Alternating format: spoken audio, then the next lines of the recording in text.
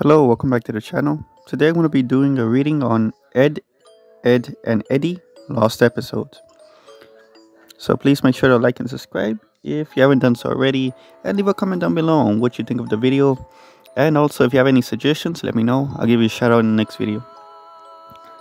So without any further ado, let's get right into it.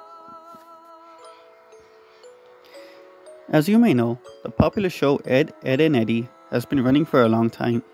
However, between October 7, 2003 and October 21, 2003, episode 34 was accidentally released one week before it was scheduled to. It was also known to some around the office that the primary writer had been sick with the flu, and instead of going on to making episode 34, the show was supposed to replay episode 1. At 5 a.m. Eastern, people reported a very disturbing new episode premiering on Cartoon Network. Some children were unfortunate enough to see it. Apparently, the quality of the episode was mediocre when held to regular standards. Animation was choppy, sound was constricted and very muffled.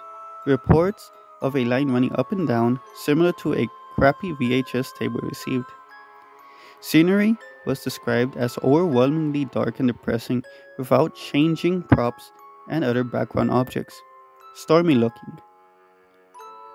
Characters also behaved oddly.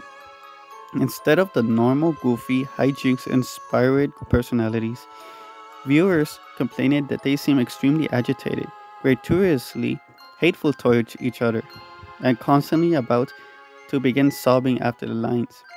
The protagonist also had a very bad lisp. No one knows why, but he spoke with a sexual tone that further bothered the viewers. I was one of these viewers. The episode began with Eddy walking down the street with Ed. I noticed that Ed was missing. There was an angular shot coming from in front of the two of them, showing them walking towards the viewer. He, Eddy, was wearing the angry look he does when something goes wrong. His eyes were red around the iris. Ed looked absolutely forlorn and practically dragged behind Eddy, tears in his eyes, which were both lazy and looking opposite outward directions. Kevin, the series antagonist, was riding his bike opposite of the Eds, towards them. The shot became blurry, and low moans were heard coming from Eddy before Kevin hit him, which never happened because the screen went to black. The screen then snapped back, and Kevin was again heading towards Eddy. The view was so blurry this time, all I saw was a green blob heading towards a yellow one. Again, the low moan, only this time it sounded like the microphone was broken and a loud static came, really overshadowing the moan. A claymation sequence of Double D sleeping in Eddy's bed came up. Honestly, it may have just been the abruptness, but I jumped and shivered. Waking up and getting out of bed, he moved oddly around the circular room. The fast pitter patter of footsteps being the only audio.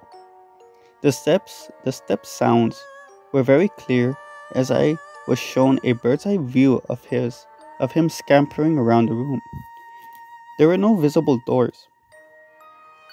Ed began screeching, sounding like a fisher cat, as he moved wildly around the cell of a room faster and faster until the screen began blurring again the purple room's color swallowing a now orange blur.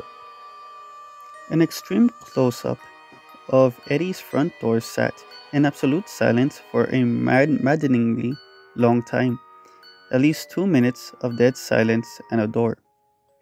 Next, we see Jimmy and Sarah at a doctor of some sort, probably oral. Jimmy, obstructed in view by a hanging lamp, is crying loudly with Sarah, trying to comfort him in an unusual, an unusually warm fashion. It hurts, Sarah. It hurts, Jimmy said. Suddenly, the door of the room is smashed open by a new character, a dentist. His face wasn't shown because he was tall enough to be out of the shot. Sarah was escorted out of the room. Jimmy was shown. Then Jimmy was shown. His headgear was mangled, the front bent upward, stretching his lip very high tearing portions. The front of his gums were trickling blood, and teeth were missing. The disturbing part was he had lost both of his arms and legs beforehand, apparently, and sat a paraplegic. I almost cried as I came to the conclusion that the others had beat him up and bent his headgear. The camera stayed on his mangled face for a few seconds. Still a picture.